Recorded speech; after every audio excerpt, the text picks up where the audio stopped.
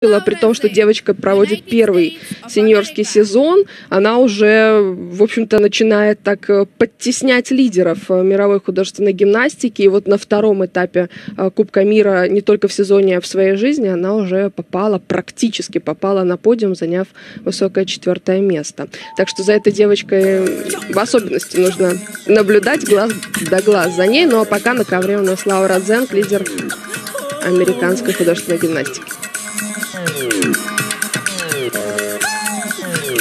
She dances in the sheets at night. She dances to his needs. She dances till he feels just right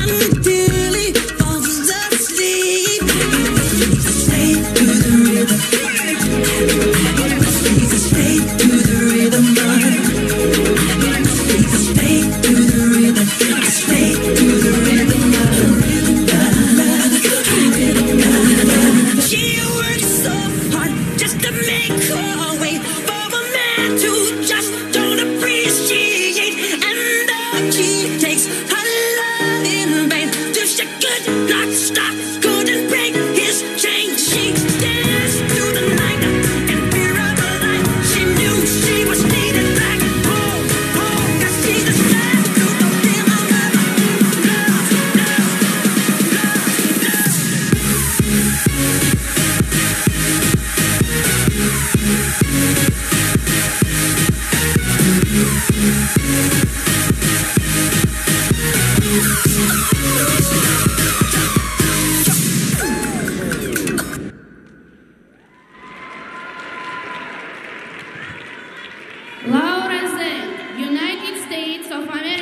Слышим, как поддерживают э, Лауру.